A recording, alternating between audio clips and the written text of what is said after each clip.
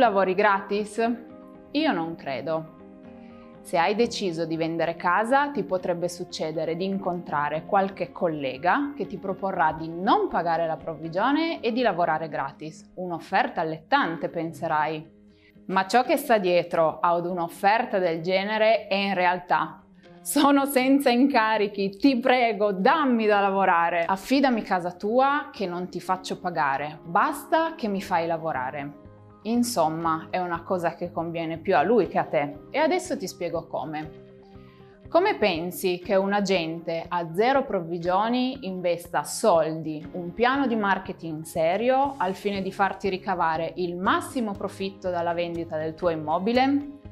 I mezzi di vendita oggi diventano sempre più complessi e costosi.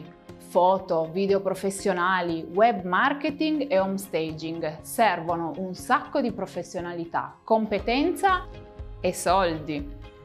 Se poi riceverà la provvigione solo dall'acquirente, sarà portato a tutelare solo lui e si guarderà bene dal salvaguardare i tuoi interessi, sia nella trattativa e sia nella stesura dei documenti contrattuali.